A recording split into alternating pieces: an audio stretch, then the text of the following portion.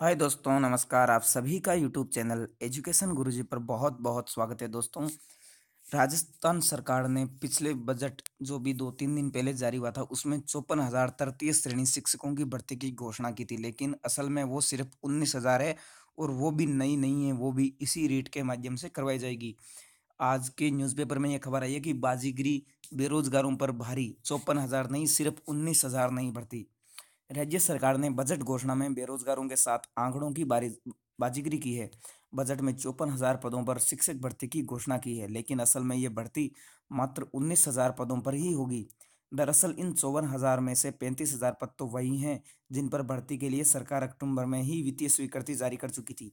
Budget से एक दिन पहले ही इन पदों पर भर्ती के लिए पात्रता परीक्षा भी माध्यमिक शिक्षा बोर्ड ने करा ली। सरकार का नए पदों पर भी भर्ती के लिए अलग से पात्रता परीक्षा आयोजित कराने का मानस नहीं है। रीट 2017 की पात्रता सूची में से ही भर्ती होगी। दोस्तों, पहले भी दिया झटका। राजस्थान सरकार पहले भी बेरोजगारों को ऐसे झटके दे चुकी है। पिछले वर्ष भी सरकार ने ग्रामीण विकास एवं पंचायती राज में चार हज़ार नौ सौ तेरह अधीनस्थ सेवा के पदों पर भर्ती को वापस ले लिया था।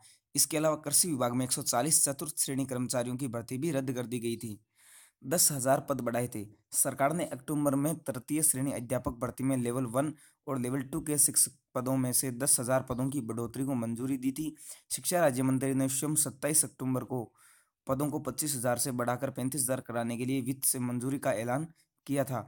चूँकि बजट से पहले ही रीट 2017 हो चुकी थी तो इसलिए बजट में घोषित चौवन हज़ार पदों को नया माना जा रहा था, लेकिन ऐसा नहीं हुआ।